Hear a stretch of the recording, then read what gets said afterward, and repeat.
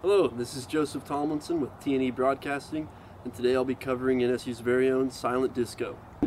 So NAB, so Northeastern Activities Board, is a group of students who are led by an advisor that help plan and put on events for campus. Um, like a wide variety of things, big and small events. Uh, tonight's from 8 to 10 p.m. and it's a free event, so all students are welcome.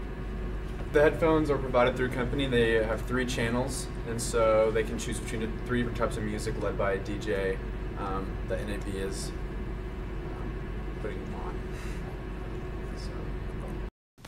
At the disco, students were able to select uh, one of three sets of headphones.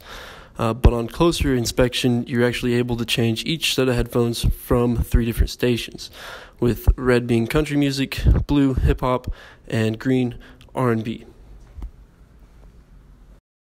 Uh, I heard this event from my friend. She invited me to come. I'm having so much fun. I love all the options that we have. Um, I try to come to all the NAB events that they have if I hear about them.